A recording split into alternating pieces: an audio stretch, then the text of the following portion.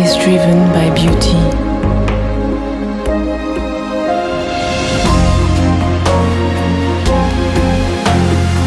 Living my dreams.